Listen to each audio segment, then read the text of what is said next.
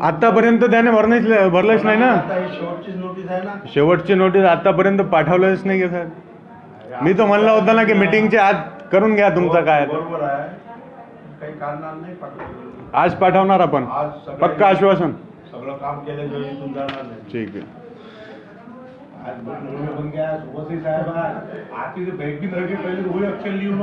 साहेब आहे. आज